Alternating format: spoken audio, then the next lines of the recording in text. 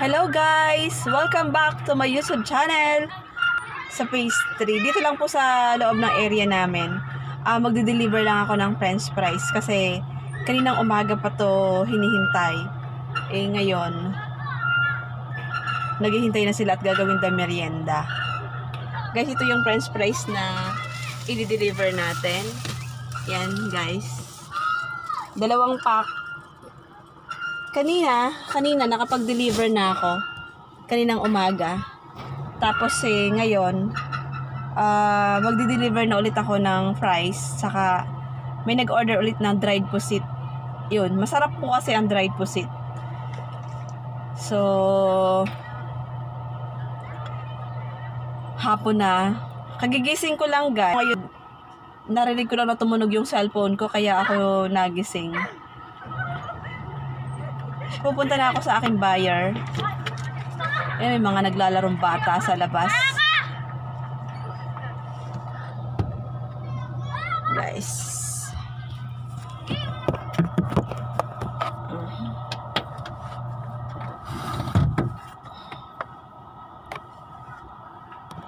Yan guys.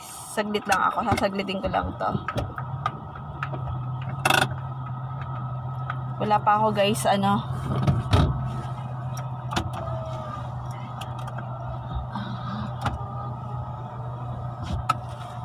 kailangan ko pa guys ng solder. Ngayon pa samantala i-didikit ko muna dyan sa ano. Sige guys tara guys so di-deliver na tayo.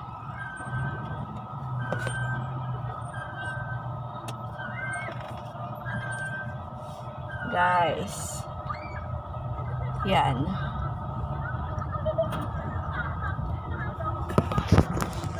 Parang hirap dito guys yan. Sige guys. Dito lang to guys sa loob ng aming subdivision. Yan.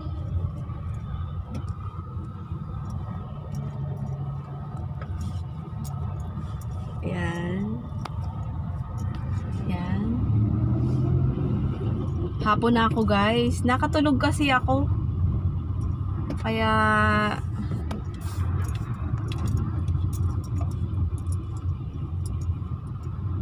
Sana gising na rin yung dideliveran ko. Okay.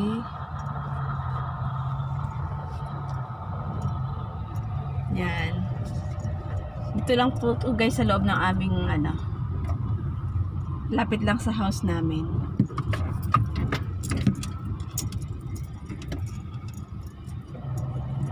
Ah, sige guys, dito na ako. Bye guys!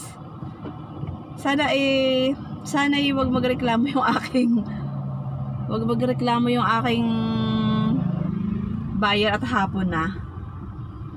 Sige guys, bye! Please like, comment, and share my YouTube channel. Bye!